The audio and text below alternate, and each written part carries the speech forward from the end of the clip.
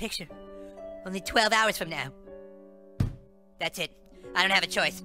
I'm gonna have to bring Mom in on this one. I'm just going to have to tell her the truth. Ow!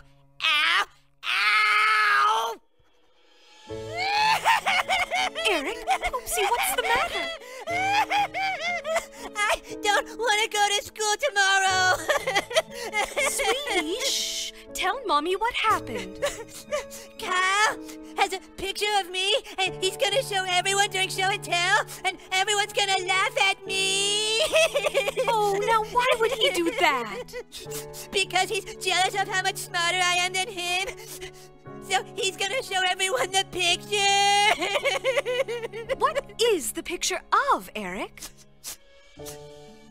The last time when Butters stayed the night, I was being really nice to him, and I was gonna take a picture of him for his mom to have.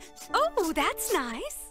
But then, right when I took the picture, Butters got really hot, so he pulled his pajama bottoms down, and then I tripped and fell down, and my mouth landed right on his penis, and then I thought of something funny, so I smiled up at the camera and gave like a thumbs up, and, and then Kyle took the picture from me, and he's gonna show it to everybody and make them think I'm gay!